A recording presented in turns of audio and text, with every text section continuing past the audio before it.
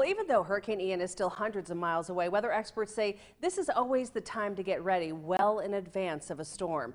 7 News reporter Henry Coburn has more on what you need to know.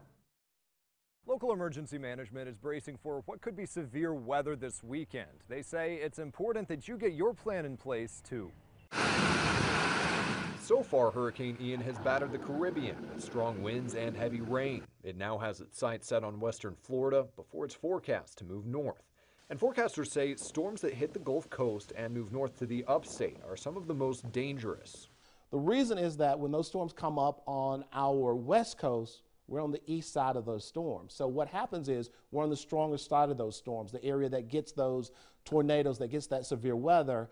And the mountains, although they're fantastic to view, they squeeze out a lot of that moisture. So what will happen is you'll get these pockets of heavy training rain and flooding concerns. Spartanburg and Greenville Emergency Management are in touch with state officials and they're keeping an eye on the forecast. They say now, while the skies are blue, is when you should prepare. Here's emergency management advice. Have several days of non-perishable food, medication, batteries, and a source of power for your electronics.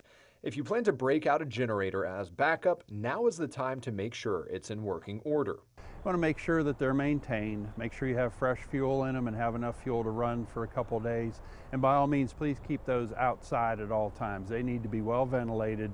You know, have plenty of extension cords, drop cords, connections like that available to run in from a distance to keep that away from your house. The good news is getting fuel should not be a problem for our area. If you hear of fuel and gasoline shortages in Florida, that doesn't necessarily translate to shortages in South Carolina.